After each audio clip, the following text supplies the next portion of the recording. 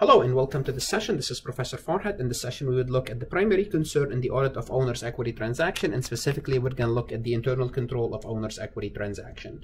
This is part of the audit of a capital, capital acquisition and repayment cycle. We already have four recordings, three of which deals with debt, debt as a source of capital acquisition. Uh, acquisition.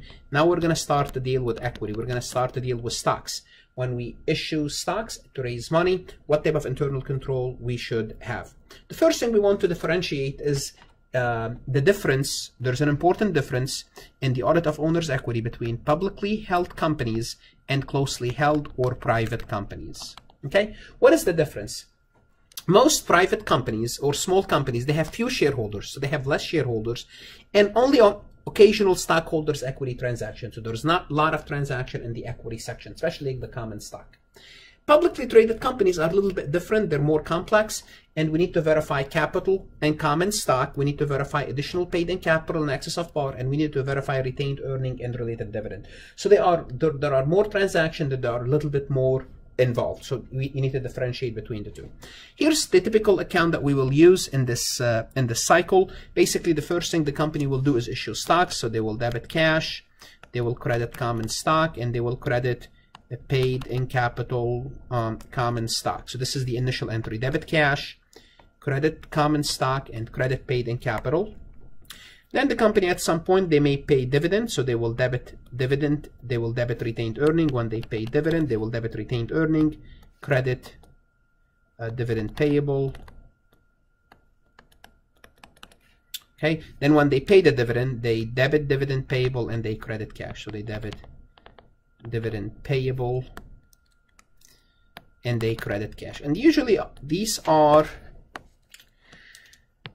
these are the transactions that are involved. These are the transactions that are involved mainly. Now, do we have other transactions? Sure, we do. We might have treasury stock. Okay, but those are the main transaction.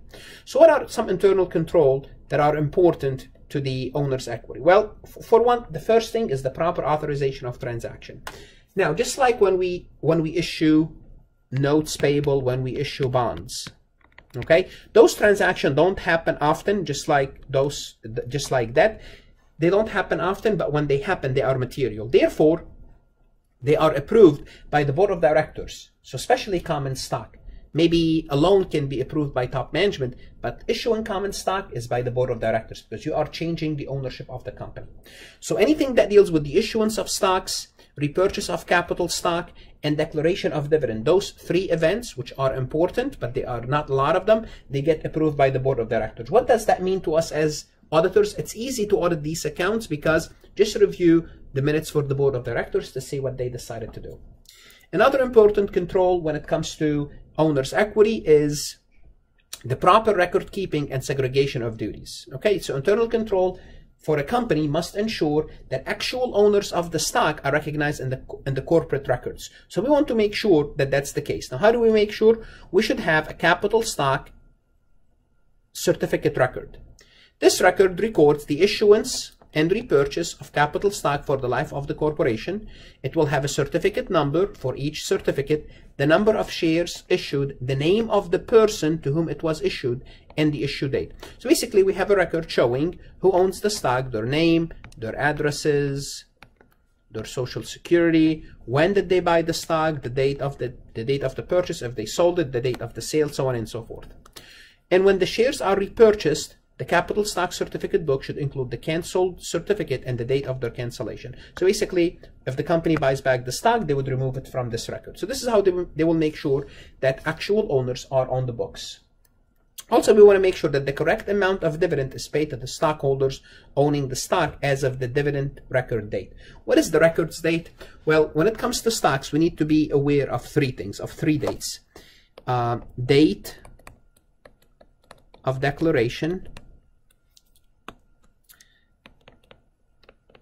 date of record, which is this is the date that we are discussing now, and date of payment. Three dates payments.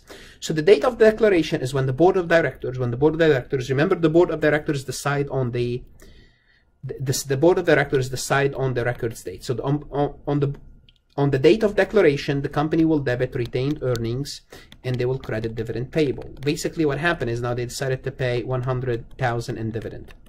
What does that mean? It means now they made a commitment to pay 100,000 in dividend. Let's assume today is 12-15. Then on that date, the company would also decide something called the records date. Let's assume the records date is 1226. The records date is 1226. What does that mean? It means this is the date of record. What does that mean? It means you have to own the stock on this date. If you own the stock on this date, you will get your money. And the date of payment is 1-3. 1-3 is the date of payment. This is when they debit dividend payable. 100,000 and they credit cash. 100,000. This is dividend payable. Okay, those are the three dates. So we're dealing with the date of record. Now, how do we make sure that the that our owners are on the date of record? Well, the shareholder capital stock master file. So we need to keep track of this.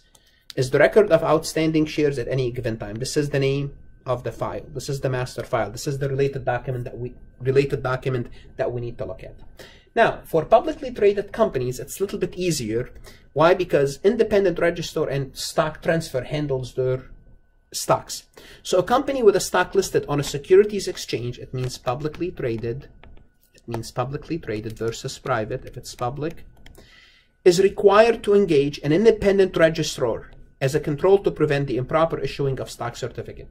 Well, if you're publicly traded, kind of it's easier to audit because somebody else, some company devoted for this process is taking care of this. Okay, so most large corporations also employ the service of a stock transfer agent to maintain the stockholders record, including these, uh, those documenting the transfer of stock ownership. So once again, large corporation, they use stock transfer agent, and when one person buys and sells their stock to another person, the stock transferred agent rather than the company keeps track of this. Okay, so most companies also use a transfer agent to dis disperse cash dividend, further improving internal control. So if they also use the um, transfer agent to handle their cash dividend, so it's easy for us as auditors because the company is independent from the company that we're auditing and most probably they have good internal control because that's what they do for a living. So it makes it easier for us. So, so those are some proper internal control for the owner's equity account. In the next session, we would look at substantive testing and test of details for capital stock, which is common stock and additional paid-in